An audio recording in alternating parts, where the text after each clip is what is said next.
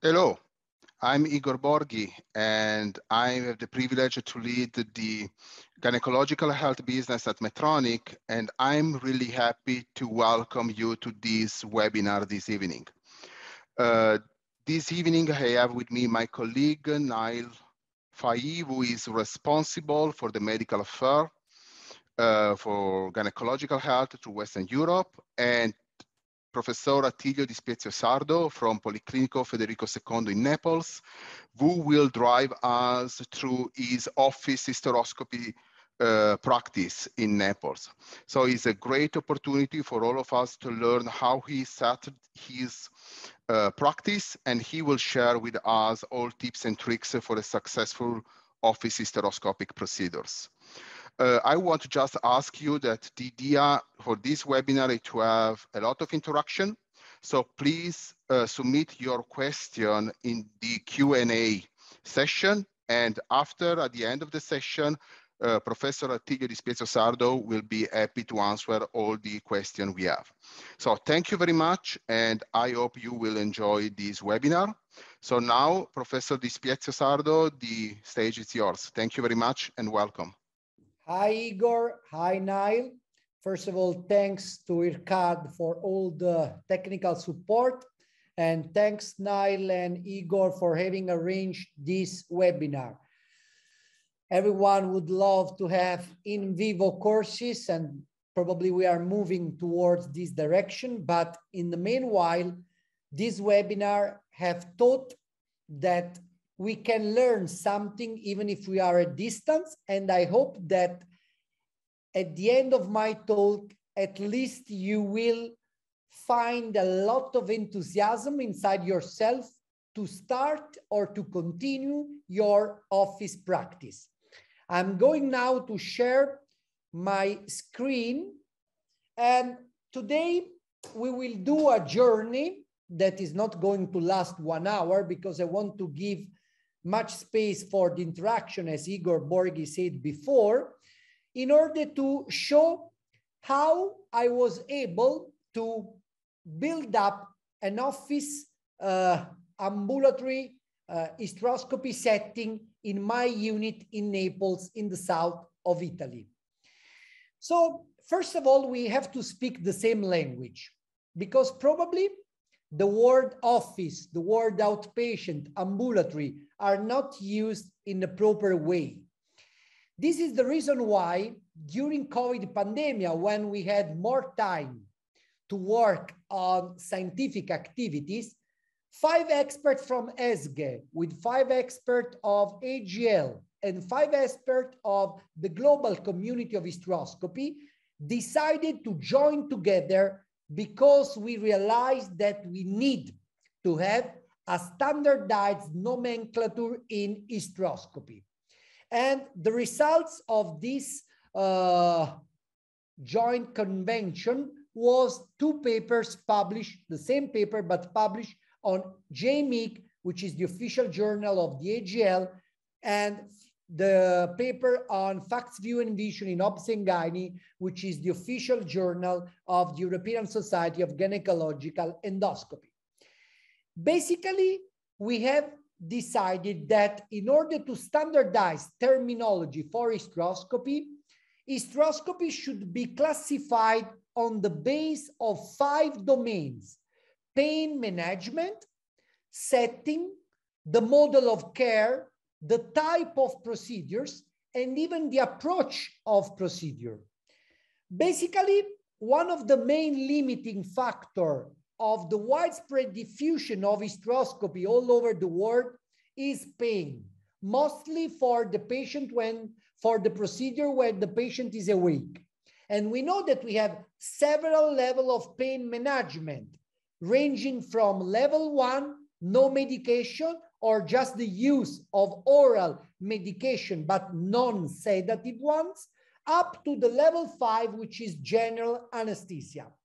On the basis of the level of pain management that you offer your patients during hysteroscopy, you can have an office hysteroscopy. So an office hysteroscopy is an hysteroscopic procedure which is performed in a medical practitioner's professional premises where you can offer to your lady a pain control up to level 3A.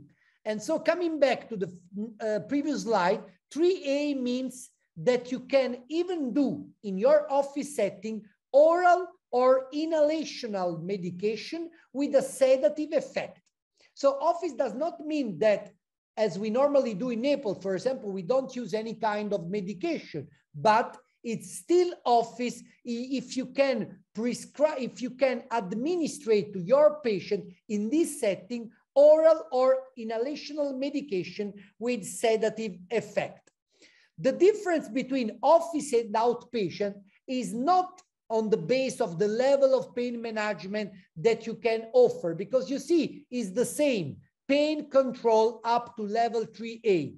The difference is that when we speak about outpatient clinic hysteroscopy, the procedure is performed in an healthcare facility for the management of outpatients. So it can be an hospital, a community clinic, or even a freestanding surgical center. So basically, so the best way to define what I'm going to show you today, I do outpatient clinic hysteroscopy because as you see, my ambulatory is within an hospital, the University Federico II of Naples, which is able to manage, of course, outpatient procedures. So basically we have to use the correct terminology. So it's not an office hysteroscopy, but an outpatient clinic hysteroscopy. And I will show you in this talk what is really possible in 2022 with the proper instrumentation, with proper experience and skill, what is really possible to be performed in an outpatient setting. This is my uh, setting in the University Federico II of Naples, and we normally do what we call see and treat hysteroscopy. And even for this concept, there is a small differentiation between what we call office operative hysteroscopy with see and treat hysteroscopy.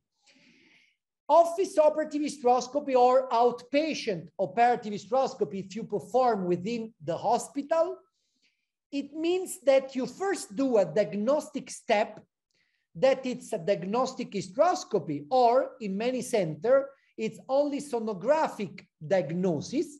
Then you can discriminate between the pathology that can be performed in the same setting of your diagnostic step, and most of them are minor procedures, or you can discriminate those pathology that will be treated in inpatient setting, generally in an operating room setting. So we perform diagnosis and treatment both in outpatient setting, but not in the same step.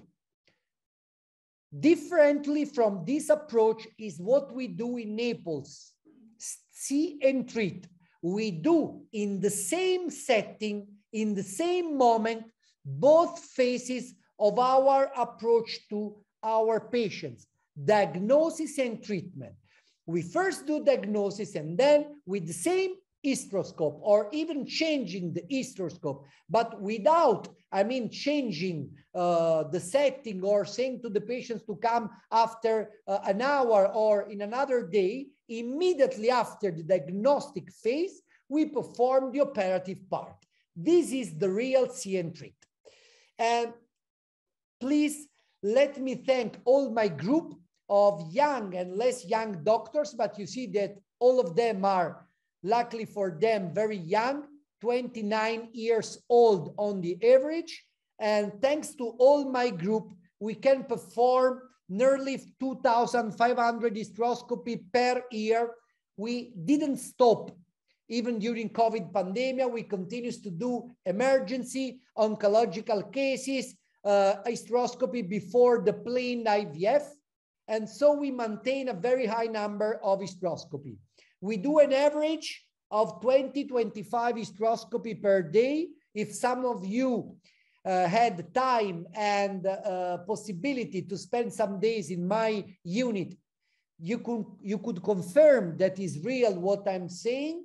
But if you don't believe me, you will be welcome in my unit and you will see that if you have a proper setup, and I will show you after many years, the setup that we have built up in my unit, we can perform a large number of hysteroscopy per day, five days per week, and most of these procedures are operative. And even if I'm not present, my assistants are even better than me. We are a group of 15 operators and my young assistant as Chiara, Brunella, Alessandro, Alfonso are able to perform hysteroscopy even if I'm not present in my unit. After this introduction on the nomenclature, because it's very important, because the prerequisite to compare the setting, the procedures, the data is to speak the same language, we come to the most interesting part of my talk, how to set up a, a good uh, setting for our outpatient operative hysteroscopy. First of all, we need a dedicated room. So I, my ambulatory few years ago was defined by uh, Karl Storz, who developed all this ambulatory system, one of the most advanced center in Europe, but you know, technology does many improvements throughout the years.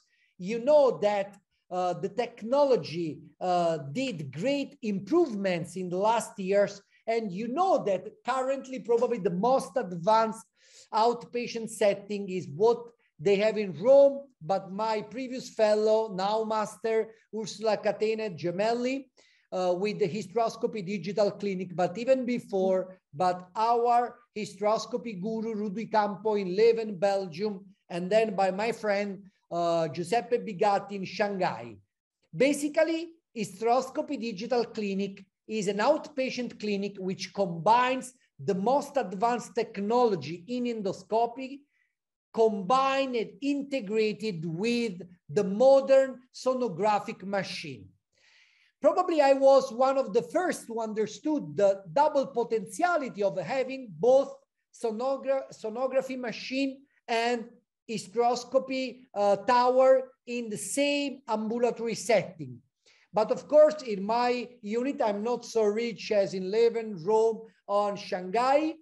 The, the two technology are not perfectly integrated, but However, we can offer Our Lady the possibility of a combined diagnosis by sonography and hysteroscopy, and even the possibility with sonography, mostly in case of uterine malformation, to check if the treatment that we did was complete or not, thanks the possibility of using the high definition 3D transvaginal probes. Of course, I'm sure that all of you are thinking, but how is possible that Attilio and his group does 20, 25 procedures per day? Because we have some tips and tricks that have allowed throughout the years to speed up the process. First of all, a mobile separate, which divides the operative area by the part where my assistant or myself, when my assistants are doing the procedures, explain the procedures to the next patient and we let them to sign the consent form. And then when the first procedure is finished here, the patient goes in the bathroom and the next one is ready to be prepared to be prepared for the next procedure. Then we have also a connection here in this table with the endo camera. So while I'm doing the procedures here, my assistant sees on the screen what is going on behind the separate and he can start to fill the report for the patients. Third tips and tricks we use in our institution chemical sterilization. We don't have 20 hysteroscope for our lady. We don't have 20 operative trochlear or other operative instruments for our routine activity. But thanks to the the possibility of using chemical sterilization agent, we can speed up the process because you know that with chemical agent in 10, 15 minutes, you can have a perfect uh, sterilized instruments ready to be used for the next patient. And this is the reason why we can perform with a limited number of instruments, a high number of procedures. There are some rules written and even not written that you have to follow and that we understood throughout the years. Personally, we don't ask a pregnancy test to our lady, but we schedule lady immediately after the menstrual cycle. We never say to the patients that the procedure is painless. But you know why? Because otherwise, if the patient start to have pain or discomfort, probably is the best, better term to define the feeling of the lady, the patient can start thinking that something is going wrong. So we explain perfectly the procedures that the patient can have sort of cramping pain during the procedures because we are going to distend the uterus, which is a virtual cavity. We talk to the patient before the procedure. We don't say to the patient straight away, go on the surgical chair, we do the procedure. We explain in a very detailed way what is going on in the next minutes. And then we let the patient, after the explanation of the procedure, to sign the consent form. So we explain the consent, and then we wait that the patient read the consent and sign the consent form. Of course, some information leaflets can be very nice and very useful, but what is important, and I learned from my staying at Royal Free Hospital in London many years ago, that it's very important to have a nurse, or in this case, it's just my fellows, Rosella, in this video, that they can reassure the patients holding the end there is an additional monitor where the patient can see the procedure. And it's very important because the patient is reassured. And while the doctor is doing the procedure, this vocal local can reduce pain discomfort at minimum. Then it's important that you do all the procedures in vaginoscopy. Vaginoscopy has been shown to be effective, better tolerated than routine approach with speculum, tenaculum, much faster and also increase the possible application of office hysteroscopy. And I'm very happy that Nile is going to introduce at the end of my talk an educational uh, e-learning process that Medtronic has established because vaginoscopy is mandatory in order to reduce pain discomfort of patients at the minimum. And you have to understand that not only with four oblique view scope, you can do vaginoscopy, but I will show you later that even when we use tissue removal device that have zero degree optic, we still use vaginoscopy in order to reduce the discomfort uh, to the patient and in order to easily get into the external uterine ostium and then since then into the uterine cavity. Possibly avoid to uh, have long waiting list. Patient needs to be very motivated, but you know that ansia increase with the increase of the, the time that the patients have to wait for the procedures being performed. And then, if possible, smile. Uh, if you have better smile than me, it's even better. But you know that I have a lot of uh, very nice assistants that I always very uh, unhappy when I see that some of them are not happy during our outpatient procedures in front of the patients that are very anxious. A smile counts 10,000 times more than local anesthesia, local analgesia, or the procedure itself. We cannot understand how important is that for outpatient procedure that the patient feels that the environment is very comfortable. So we have seen, I have shown you some tips and tricks to establish a proper setup for our outpatient diagnostic and operative procedures, let's see now the equipment that we use. And not because this webinar has been supported by Medtronic, I'm going to say you that I have only Medtronic stuff in my unit. When people come in my unit, they come because they want to be taught in hysteroscopy. And the beauty of this wonderful technique is that we can do the same procedures with many different instruments. What is important is not to have prejudice in confront or in regard of some uh, instruments only because they are supported by a company you are not friend of. But it's important that you understand advantages and disadvantages of all instruments. So miniaturized office operative hysteroscope, 5, 4, 3 millimeter are the basic prerequisite in order to start to perform operative procedures in outpatient setting. We always start procedures with a small diameters, continuous flow features, hysteroscope with a diameter less than four or five millimeter, with the possibility of having an operative channel through which mechanical instrument can be inserted. In the past, when I start in 2000 to do outpatient operative hysteroscopy, mechanical instrument were the only possibility to perform some procedures. Still now, you see that, let's see why the video does not work. Now it works, that you with mechanical instruments, you can perform biopsy, removal of dislocated IUD, you can perform small polypectomy. Few years ago, I also developed some instruments specifically related for the removal of the fragment, but please don't say that these instruments are fragile. We know that they are very small and very fragile. So you cannot think to do big operative procedures only with mechanical instruments.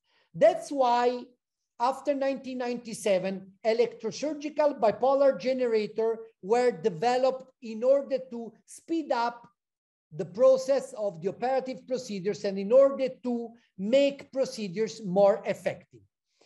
And so we understood that with mechanical instrument and with five French bipolar electrodes, we can improve the quality of our clinical activities to speed up the process to improve the efficiency, also reducing the cost because we bring less patients to the operating room. And so we have significantly reduced the waiting list for major surgery.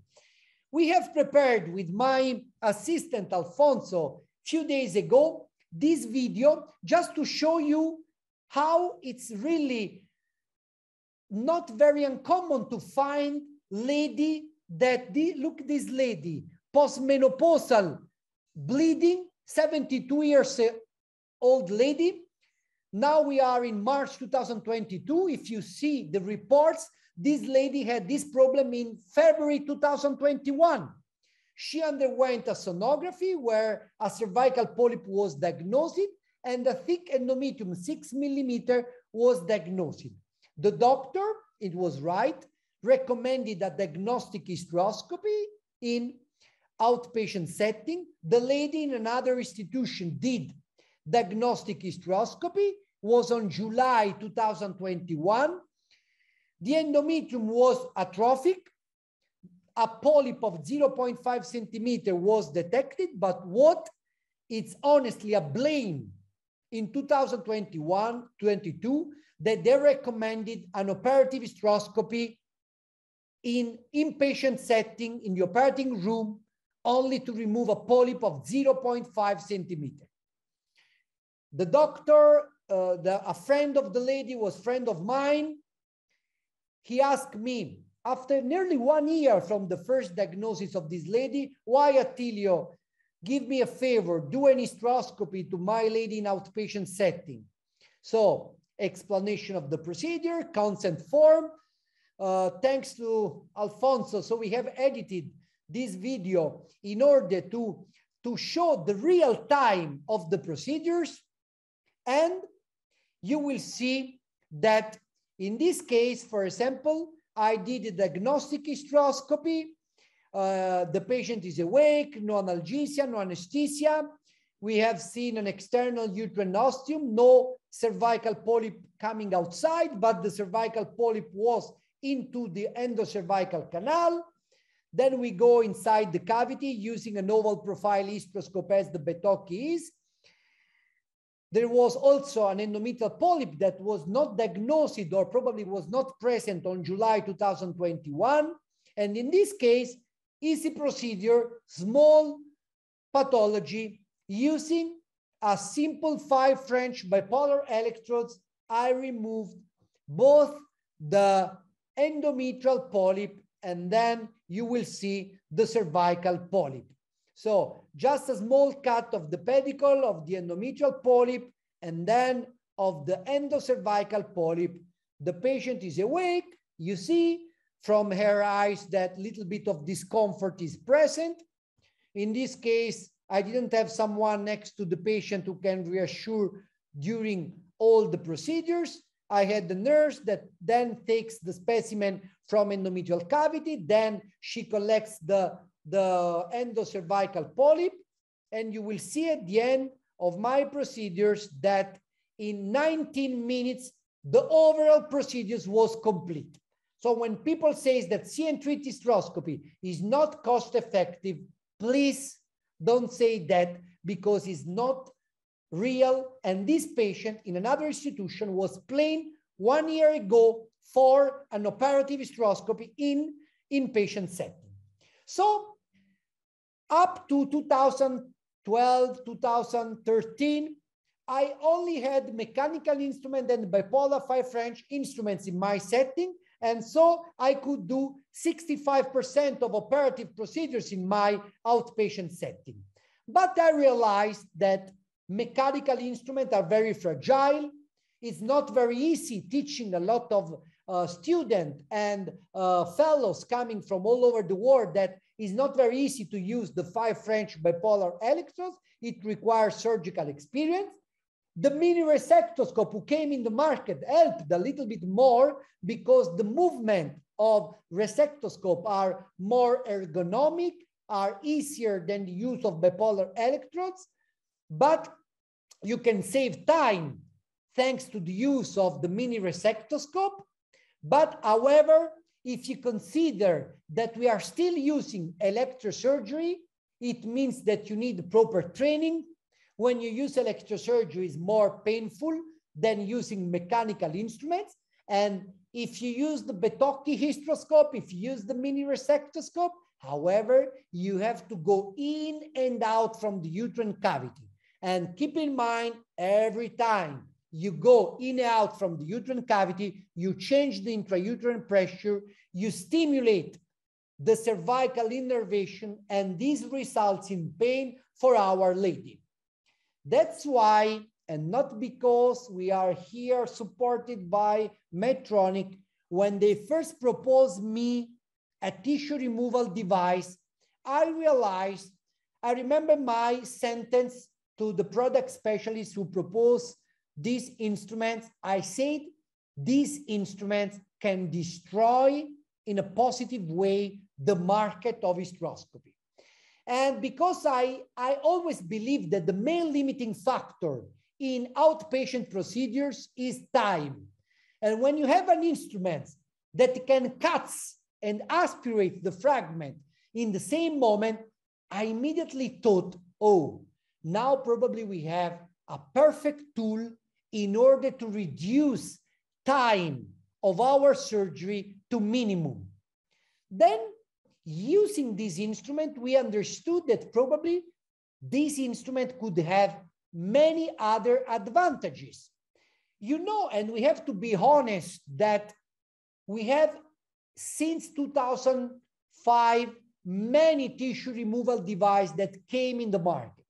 And I think it's very important when there is no monopoly of one company in one technology. Then you have to know advantages and disadvantages of all the instruments available with similar characteristic in the market.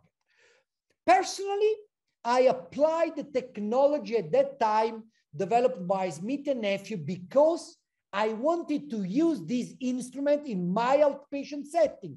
And I told them, please give me the smallest of the family. At that time was the TruClear 5C.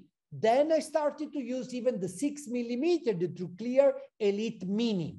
And these are the two tissue removal device that currently, routinely, we use in our unit because they are small. And personally, I think that the tissue removal device have their main field of application in outpatient setting because the two limiting factors are time, 90%, and pain, 10%. And pain most of the time is related to an acceptable longer time of our surgical procedures. That's why if I have an instrument that is small enough to be put into the uterine cavity without cervical dilatation, it can speed up the process. Oh, probably we have changed our approach to our lady. Of course, you have to use the proper blade for the proper pathology. If you have, sometimes I know that some, some fellow says, yes, but I use the soft tissue shaver for myoma, for fibrotic polyp, it does not work. Yes, because we are not using the proper blade for the proper pathology. So you have two possibilities, soft tissue shaver and dense tissue shaver in two form, mini and plus, because of course you can have different version of the TruClear system. Bigger is the diameter, bigger is the blade, and of course you can treat even big pathology as myoma or polyp that occupies all the uterine cavity. But if you want to concentrate on what you can do in your outpatient setting, we can perform polypectomy, smaller than one centimeter, but I would say even bigger than three centimeter. You will see in the next video, retain product of conception. And we will also explain probably a new technique that we are trying to standardize. Uh, we have tried to standardize in last year, which is the visual D&C. But honestly, why TruClear has really changed? Probably not strictly the life in hysteroscopy of senior doctors, but of young doctors. Why they are so enthusiastic when we propose to use a tissue removal device? Because in comparison with available instrument, we still do not use analgesia or anesthesia. We still do not need with the elite TruClear or the 5C TruClear to dilate the cervix. But young doctors love the device because they are scared about using electrosurgery. As soon as they are inside the uterine cavity, they feel confident. They do not want to go in and out from the uterine cavity. And if you don't have to go in and out from the uterine cavity, it means that you have low risk of perforation. Because you don't use electrosurgery, you have reduced, I would say, even zero risk of post-surgical adhesions. You have no thermal damage on histology. The pathology will call you and say, oh, I have no artificial damage caused by electrosurgery. So we have a good specimen quality. And if you compare to the available bipolar technology, mostly when the resident are doing the procedure, the procedure is very easy, rated by them. There is a shorter and faster learning curve. Basically, you have just to put the blade close to the lesion and the device will do all the job. And what is nice, and Nile was in my unit last month, and we uh, and I thank him for all the support that he gives for doing some video recording procedures just to show that what I'm really telling you is the reality, that I'm not doing the procedures. Alessandra, Chiara, in this situation, they are doing an hysteroscopy. They first do the diagnostic hysteroscopy. In these cases, they are using the Bettocchi hysteroscope. There is a thick endometrium, in this case, on the upper part of the slides. In the lower part of the slides, Chiara developed, discovered a, a polyp and then a thick endometrium. In both cases, they did, they switch to the TruClear and then they could complete the job. Not me, but they could complete the job.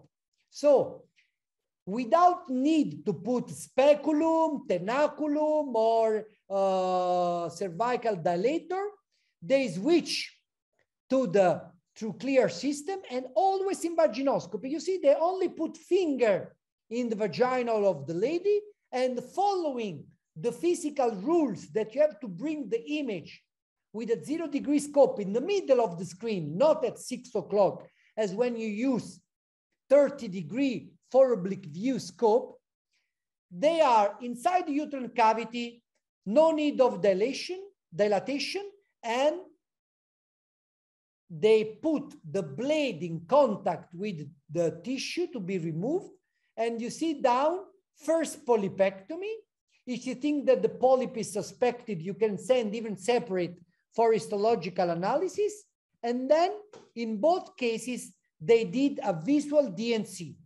Visual D&C basically is just to put the device, the blade of the device, in close contact with the thick endometrium, and then the device does all the job, and you don't have any more uh, frustrating histological report, inadequate specimen. Because the problem with electrosurgery and or when you use mechanical fire French instruments is that sometimes you, you cannot collect enough tissue for, from the uterine cavity in order to have a proper histological analysis. And you see that in a few seconds, not in a few minutes, you will have a complete removal of the thick endometrial tissue from the uterine cavity. You can use the visual D&C when you have a thick endometrium, when you have, you will see later, probably a complex hyperplasia with atypia, when you want to do a fertility sparing treatment, when you have chronic endometritis. And it's a really easy procedures that my fellow love to do.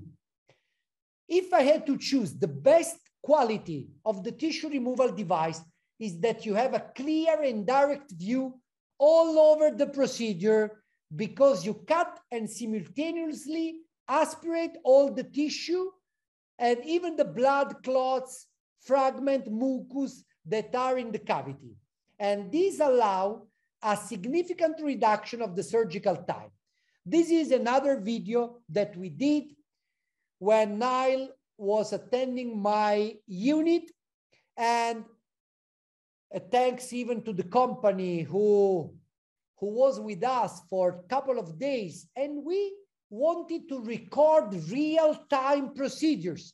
In this case, was a lady with a suspicious of polyp, the same step, welcoming, smiling, changing in the bathroom. This is the real time, so five minutes only for the patient to change herself. She goes on the surgical chair, a nurse, medical assistant for the vocal local. I wear the gloves. I first do the diagnostic hysteroscopy. I go inside the cavity. First, you, you need to do the, the diagnosis. There was a polyp here.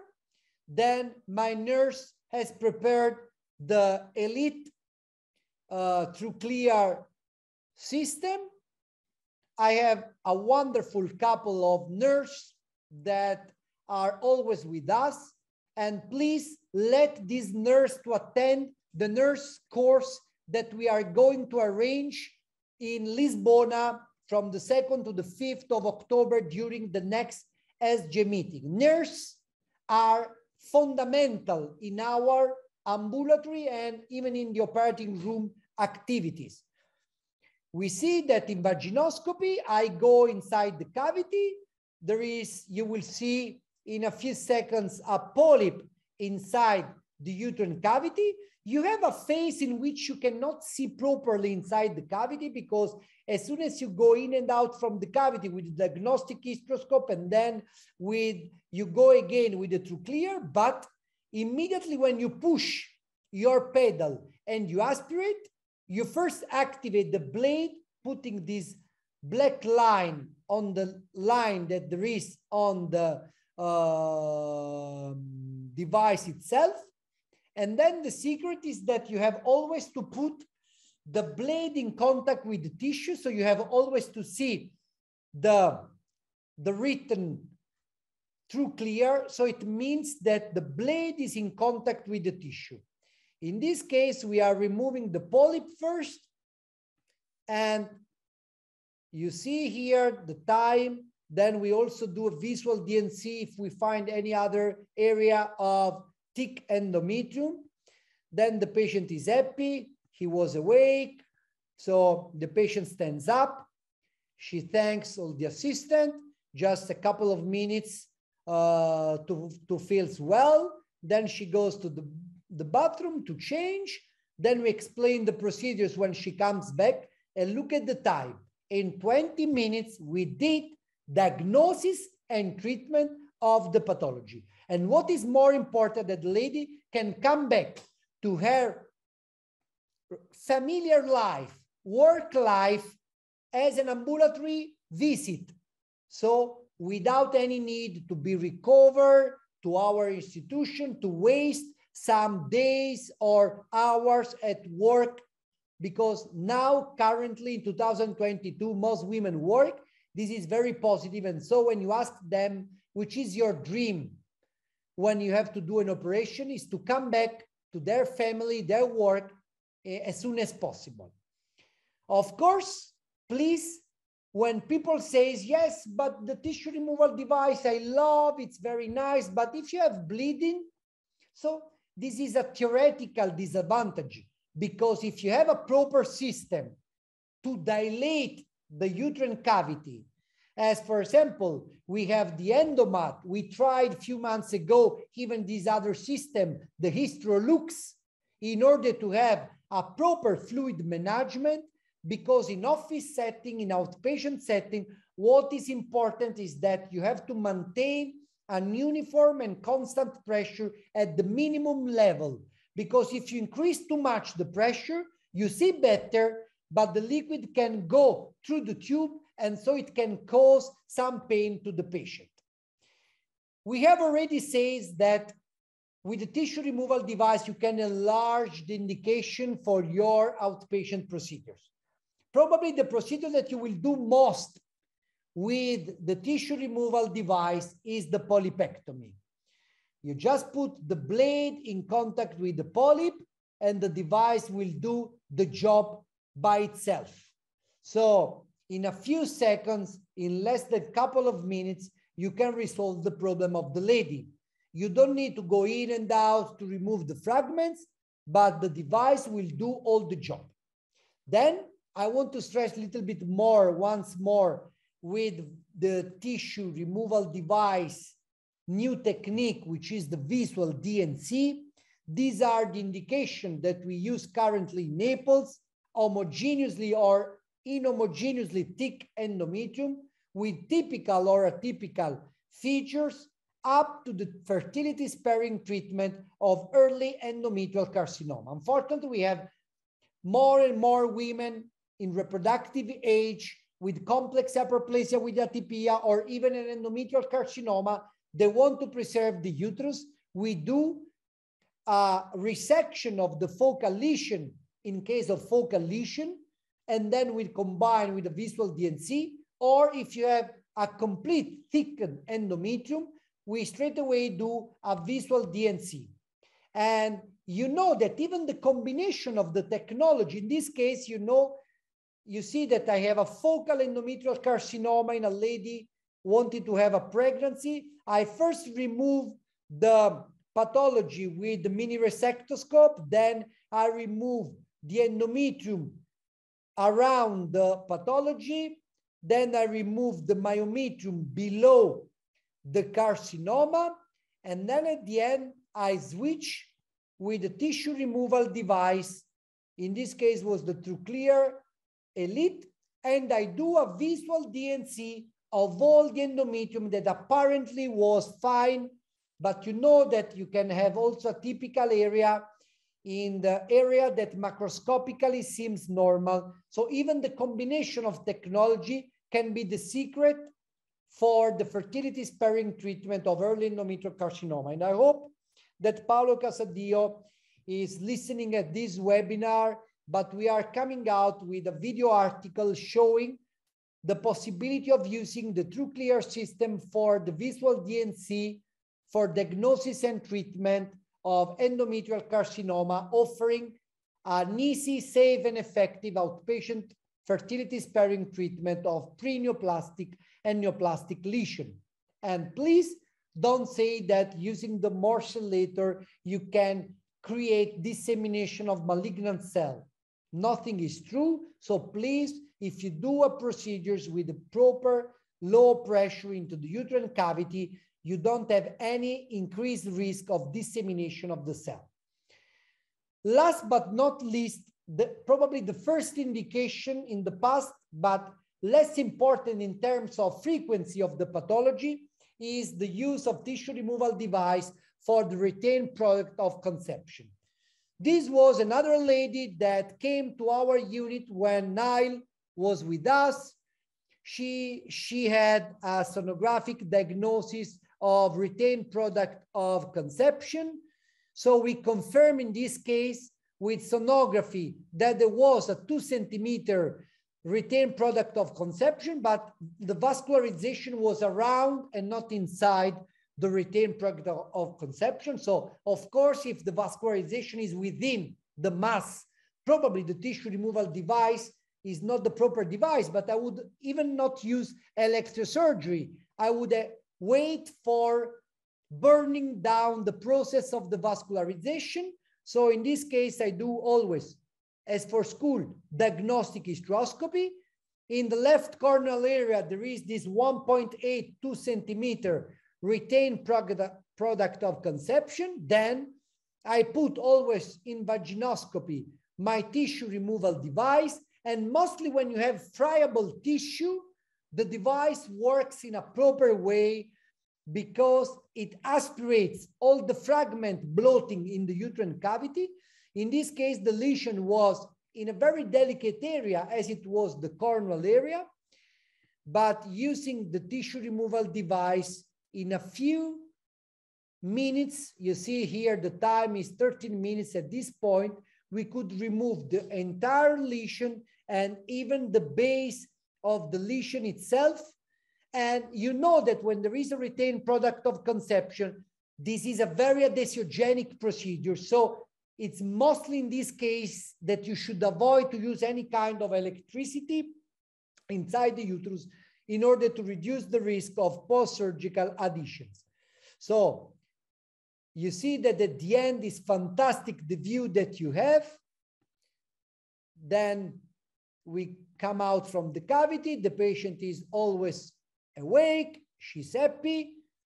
Rosella is next to the patient to reassure the patient throughout the procedures. The patient goes to change herself.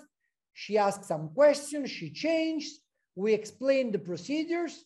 We show on the video if she wants to ask some question, and then we say the patients to come back to her routine activity. So we don't use the operating room. In less than 30 minutes, we resolved even this challenging case. Of course, the last concept is that training is very important. Training had an evolution throughout the years. Storz, Medtronic were the first to support the GESEA program that is an educational program both for training of the psychomotor skill, both for acquiring surgical competencies Basically, you have to know that you first need to study, so theoretical knowledge, then to train your psychomotor skill in a dry lab, then you have to be certified, and then you can go in your ambulatory setting or in your operating room to do your practice. I'm very proud to show that recently we have uh, developed a, uh, a website for our GESEA training and diploma center that we have in Naples. And I'm proud to say that thanks to my uh, fellows, after Clermont-Ferrand, we are the center who did more certification in, all over the world in the last five years. We have a lot of course uh, currently, uh, in the past, we had one course every three months. Now we have one course per and one certification session per month. And thanks to uh, my uh, the tutors of my center, we can do a lot of certification setting uh, session uh, uh, every month in order to uh, train people and certify and give the license to go in uh, in the operating uh, in the outpatient setting and even in the operating room. So I hope I was clear with my uh, talk and I'm ready and available for all your questions.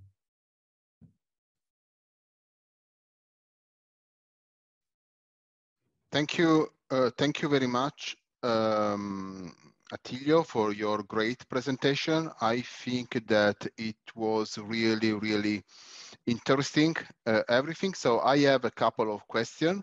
Uh, the first one is about the training. So how, um, how much you think is needed uh, in terms of training to be able to perform an office hysteroscopy or outpatient hysteroscopy like you are doing? we did a study when I was in London to learn hysteroscopy by Mr. Adam Magos at Royal Free Hospital. Um, and uh, that now is led by my friend Fazi. And uh, we, we have seen that if you perform 50 hysteroscopy uh, supervised by an expert senior doctor, then you are able to perform easy procedures in your outpatient setting. I would say that probably even less than 50 procedures are uh, enough to make you ready to do office outpatient procedures. Of course, it's important that you know your limit. It's important that you know your instrumentation. That's why theoretical knowledge are important. Then you can train yourself in a dry lab. You can train yourself with virtual simulator, and then you can go probably first in the operating room sometimes to see some movements. And then you can, when you feel confident, you can do procedures when the patient is awake. Because one of the problem is that when the patient is awake, and Igor, you know, because you send me a lot of people for uh, training activities, that when the patient is awake, it means that the patient can judge what is going on, can be the, the best witness of the procedures, so you cannot say in front of the patients, I've never done, I don't know how to do. You cannot ask to the patient, is painful? Or please, how can I use the TruClear? Because if the patient awake understands that you are not expert, she starts to complain, she starts to be scared. Thank you. Thank you, Attilio. Uh, another question, it was uh, about the sterilizer you are using. So which kind of sterilizer are you using as chemical sterilizer? What's the name that we use in our, uh, uh I know the commercial name, it's Adaspor, what we use uh, in uh, our institution, but I mean, at the moment there are available many, many chemical agent that can be used for sterilization. So uh, it's peracetic acid basically that can be used for chemical sterilization. Okay. Another uh, question about tips and tricks. So which tips are you suggesting to get into the internal ostium? To get? Uh, I mean, into the internal ostium. So what? I mean, you can use many tips and tricks. The oval profile hysteroscope allows you to align the main axis of the hysteroscope with the main axis of the internal uterine ostium. You know that mm, in order to explain that, uh, that uh, the internal uterine ostium, we think that it is an oval, it is, uh, it is circular uh, this is not oval, so it's just circle one. But because of the version curve, when you bend the, when there is the version curve of the hysteroscope, of course, in this part, you see that the cervical canal appears oval, but the internal uterine ostium is not oval. It appears oval because there is a curve of version of the uterus and so it appears uh, oval. And then if you align the main axis of the scope with that so you can get easily in the cavity. Then it's important that you know the six uh, 12 o'clock rules when you use the four oblique view scope or that you have to bring the image in the middle of the screen if you use a zero degree scope, or sometimes you can use even miniaturized instruments in order to uh, stretch the external or the internal uterine ostium when you have adhesions or even the bipolar electrodes. But if you are going to attend the vaginoscopy learning pathway, you will see that sometimes I use my TruClear even to do a sort of a blunt adhesiolysis in the internal uterine ostium. And I first put the blade into the internal uterine ostium. I cut all the fibrotic tissue and then I can get easily into the uterine cavity. Okay, thank you, Attilio. Another question is, how uh, will you insert TruClear without cervical dilatation? How you? How you insert TruClear without any kind of cervical dilatation. So because we first do diagnostic with a four five millimeter scope. So I think that this is the best way even to approach cervical stenosis if they are present. Then after you have inserted a four or five millimeter hysteroscope, I personally say, oh, this is a very tight cervix. Please, nurse, give me the 5C. It's fiber optic technology. You see a little bit less well than with the six millimeter optic based elite clear but I get much easily into the uterine cavity. Or if it's quite patent, the cervix, I say to my nurse, please give me the, five, the six millimeter TruClear because I can go inside the cavity. And sometimes you have to force a little bit. Sometimes you can um, rotate the hysteroscope itself. Sometimes you need to perform a paracervical block, intracervical anesthesia. Personally, I'm not a great fan of intrauterine or intracervical anesthesia. Sometimes it can happen that the procedures can fail. And so you have to schedule the patient for inpatient approach.